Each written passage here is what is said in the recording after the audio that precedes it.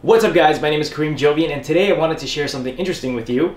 These awesome bags here. Now, I am huge with Dungeons & Dragons. I love it. It's really, really fun. If you guys don't know what it is, it's simply a board game that's very imaginative. You get to create your own scenarios, your own characters, be anyone, do anything. I'm a Dungeon Master, and a Dungeon Master is someone who narrates the story to the players and uh, creates scenarios and comes up with a lot of stuff in the game, basically. So traveling was a pain in the butt because in order to travel as a dungeon master, you have to carry a lot of books, a lot of miniatures, rules, a whole bunch of maps and tiles, dice, and everything you possibly can think of for a board game, and that can get pretty heavy.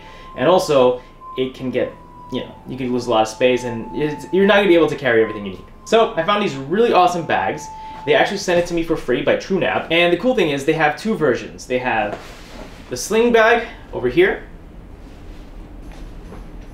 and they have the backpack, which is my favorite. And I know how hard it is to find uh, Dungeons and Dragons bag, or any bag for that matter. It's there's there's not a lot of board game bags out there, so these two were my favorite, and I'm really excited to share with you. If you guys are really interested in getting one, you can get one in the link below in the description box. So let me show you some of the features that these have. You're gonna open up the top compartment of the backpack, and as you can see here, I still have some of my stuff in here.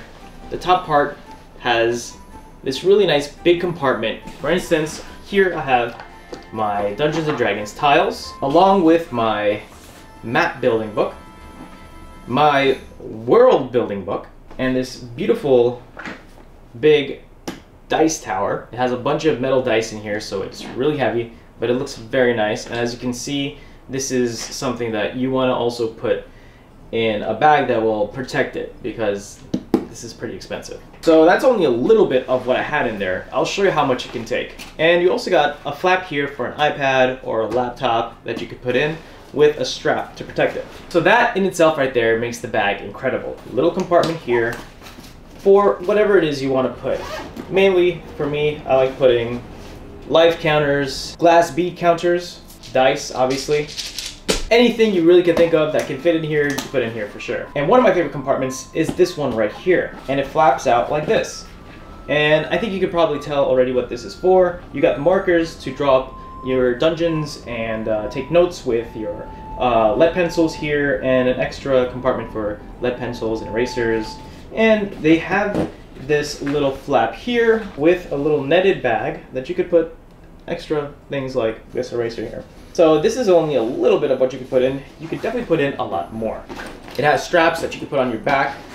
And there's like a nice secret compartment right here on the side of the bag where you could put your phone or any little notes that you want to just hide from uh, your fellow players. I think this is probably the best part of the bag. The top compartment, when you open it up, you have this.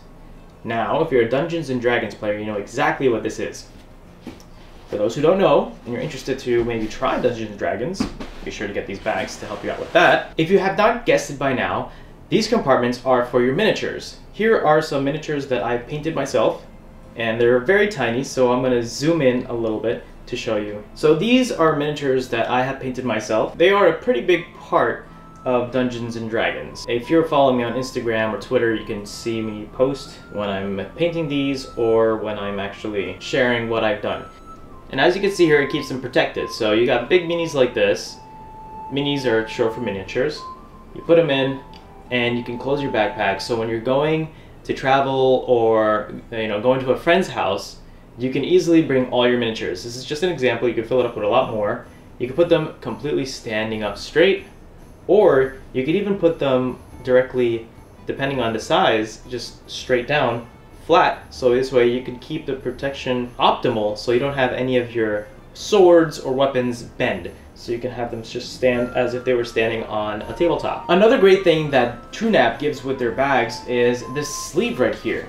And this sleeve obviously protects your map. So I've rolled up my map and I put it in here. So if there's any rain or whatnot outside, you don't have to worry about your map getting destroyed because it's in this waterproof sleeve that keeps it rolled up nice and compact.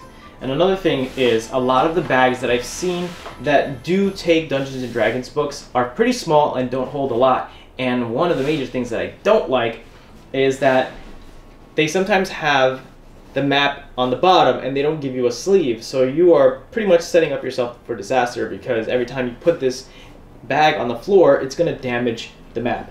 So for this backpack, one of my favorite features is that, and we also have this sling bag, which is very similar, does the same thing, but has a lot more compartments for you and your Dungeons and Dragons games. On the side here, this is an example, you have an extra flap with a pocket and a nice see-through compartment pocket here for you could put dice or whatever, counters, anything. Same thing on this side over here. You also get a handle strap. You also get the same miniature compartment on the top, which is one of my favorite features of these bags. Lots and lots of room. You obviously get the same front pocket for your markers, lead pencils, counters, dice, and whatnot. And finally, a nice big compartment with dividers, which is a nice feature that the sling bag has, that it has these dividers and another pocket for whatever iPad or uh, electronics you want to put in there for your board game. So now I'm going to put in my books just to show you how much it can take and how it looks. All their bags come with sleeves for your maps, and this is how it arrives. And finally, for for the sling bag, they also have a really unique way of placing your map, which is uh, which I think is really important. Like I told you, I don't like having it on the bottom.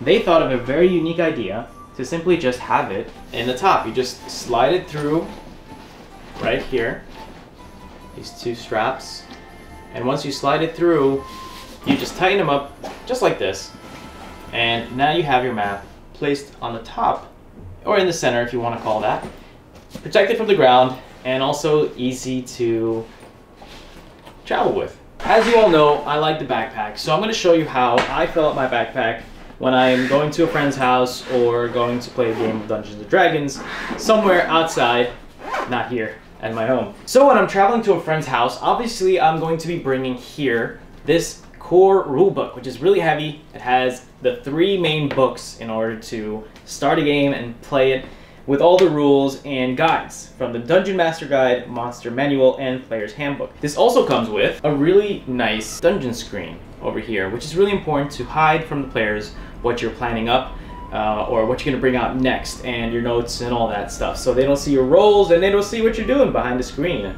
So obviously these are very important to bring. So in order to bring them all, you got to bring the whole thing. Put all that in there. And of course, you have your dungeon tower that comes with all these beautiful dice, heavy metal dice. This is what a dice tower is, obviously.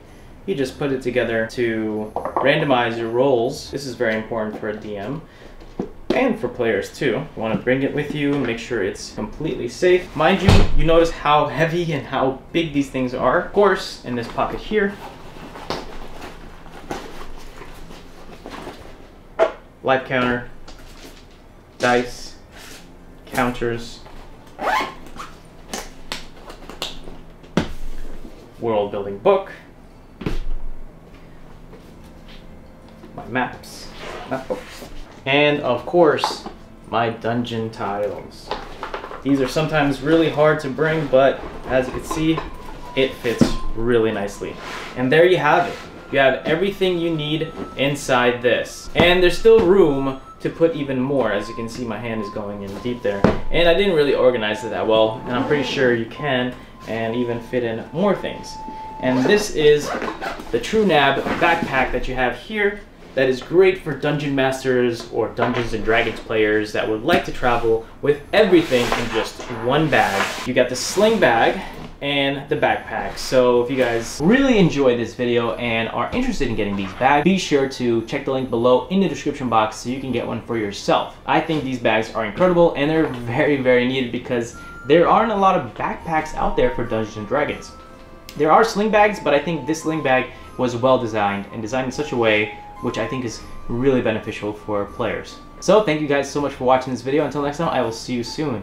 See you the later.